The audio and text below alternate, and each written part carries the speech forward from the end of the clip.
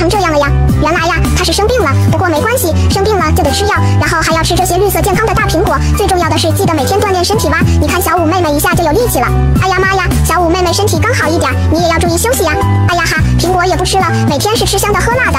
你看吧，你现在都变得特别虚弱了吧？还是赶紧回家休息吧。你看走路都这么费劲，到终点了，这是唐三哥哥的昊天锤，你这样是根本拿不起来的。小五呀，小五，你可不能再这样下去了。唐三哥在武魂殿里面打怪，要是让他知道你变成这个样子，他得多心疼呀！还有小可爱们都那么喜欢你，看到你的视频都会给你鲜花、棒棒糖什么的。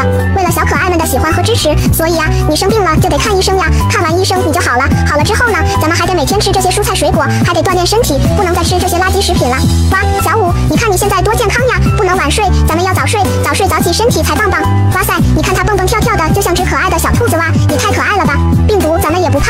脚就给他踢飞。哇塞，出门可千万得记得戴个大口罩，戴上口罩，咱们什么都不怕了。你看有了口罩的保护，这些病毒通通都不怕了。快给我闪开，我们可爱的小五来了！哇塞，你们看小五妹妹瞬间就提起了昊天锤，直接砸了下去。哎呀妈呀，小五妹妹也太厉害了吧，居然砸了一个最高纪录呀！